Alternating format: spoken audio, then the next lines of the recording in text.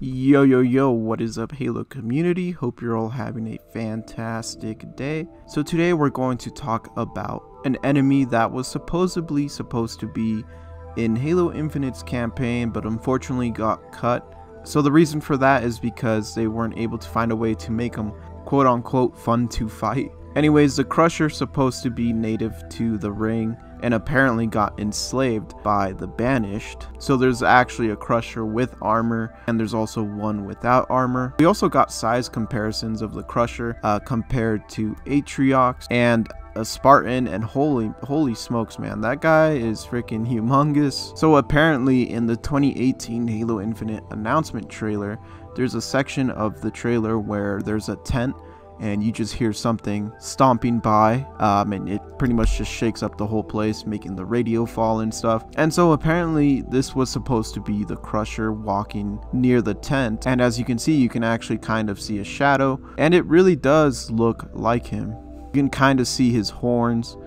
so it does sound very believable. Apparently the crusher was also supposed to be found in a cave where there's a bunch of marine bodies that are still there to uh, the game we have now. And apparently it's supposed to be like a trail of bodies. So at the end of that trail of marine bodies, you actually end up meeting the Crusher in this uh, giant cave in the open world. And yeah, you will just have to fight it.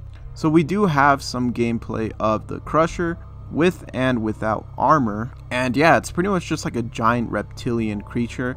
At least it seems like it to me. It seems like some giant uh, reptile kind of thing. So what I think is pretty cool about the enslaved uh, Crusher is the fact that it actually carries weapons on its back. And of course, you know, it has armor on. So it's just like the Grunt Meal where he has weapons on his back. Uh, it's pretty much kind of like the same thing. And as you can see, looking at the Crusher gameplay, it seems like it jumps and leaps at you and just pretty much smacks you and throws you around. It also seems to roar. And yeah, I mean, it's just a giant beast. It honestly kind of reminds me of those giant beasts. I forgot what they're called from Halo Reach. It's kind of reminiscent of that. And so, honestly, I wouldn't mind if they had creatures like that that just smack you around. Not everything has to be uh, super unique. So I personally wouldn't have minded uh, if they added these, even if they thought it wasn't exactly the most fun creature to fight. But uh, who knows, maybe it was really just boring to fight, because we haven't tested it ourselves. We're just looking at the footage here. As long as they weren't freaking like spammed a lot, then I think we'd be fine. Maybe if you encountered one or two throughout the open world. So Mr. Rebs did point out that apparently his tongue is supposed to glow green, much like the evolved monster that's on the box art, which I got here. So as you can see, it's kind of glowing. So apparently his uh, tongue is supposed to glow like that. Just a little fun fact to kind of throw in there. And so not only do we have gameplay, but we actually have some sound effects, which I'll go ahead and play for you guys right now.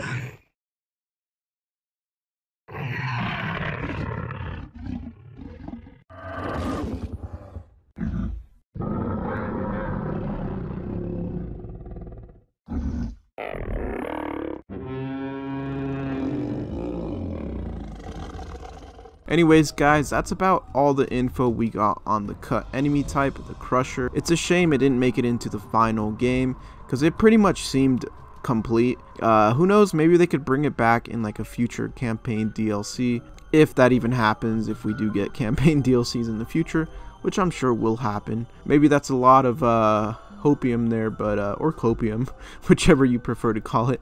But uh, yeah, it really is a shame. Let me know what you guys think about the Crusher. Do you guys think it would have been fun to fight?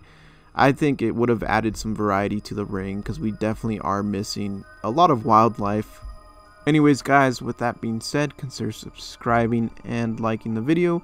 as it really supports me. And if you guys want to stay updated on Halo content like this, I really do appreciate it. Love you guys, and I'll see you guys on the next one. Peace.